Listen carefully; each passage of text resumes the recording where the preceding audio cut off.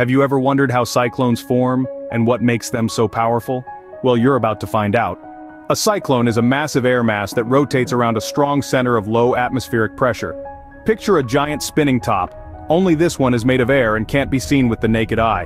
This rotation is counterclockwise in the northern hemisphere, and clockwise in the southern hemisphere when viewed from above. It's the exact opposite of an anticyclone.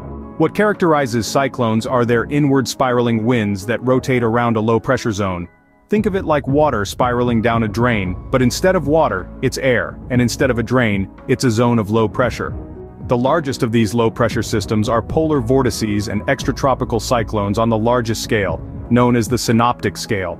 Warm core cyclones, such as tropical and subtropical cyclones, also lie within this synoptic scale.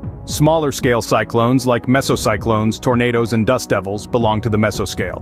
Interesting fact, cyclones aren't limited to Earth. They've also been observed on Mars, Jupiter and Neptune. Now how does a cyclone form, you might ask? This process is known as cyclogenesis. Extratropical cyclones begin as waves in large regions of enhanced mid-latitude temperature contrast called baroclinic zones. These zones contract, form weather fronts and the cyclonic circulation closes and intensifies. As they age extratropical cyclones occlude meaning cold air masses undercut the warmer air and become cold core systems. A cyclone's path is guided throughout its two to six day life cycle by the steering flow of the subtropical jet stream. Weather fronts, which mark the boundary between two air masses of different temperatures, humidity and densities, are associated with the most notable meteorological phenomena.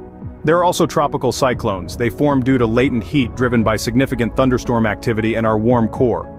These cyclones can transition between extratropical, subtropical and tropical phases. To wrap it all up, cyclones are massive rotating air masses characterized by inward spiraling winds around a low-pressure zone. They form through a process called cyclogenesis and are guided by the subtropical jet stream. They can be extratropical or tropical and can transition between these phases. So next time a cyclone is mentioned in the weather forecast, you'll know exactly what they're talking about.